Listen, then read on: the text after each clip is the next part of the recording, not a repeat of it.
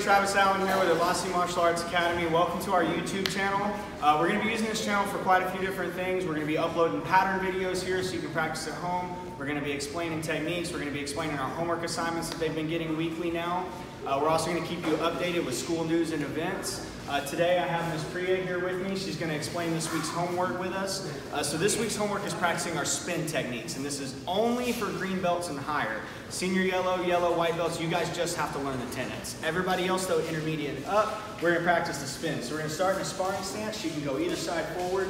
Perfect. So the very first thing she's going to want to do is she's going to want to get up on the ball of her foot, just like that. So if we lift her pants up, you can see her heel is off the ground. That's what we want right there.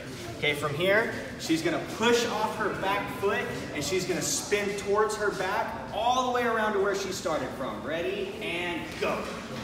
Perfect, just like that. Then she re-steadies herself. She's gonna go again. Awesome, and you're gonna do 20 of those on one side and then you're gonna switch to the other side after you've done your 20. Now, another super important thing we remember, guys, this is why we get on the ball of our foot.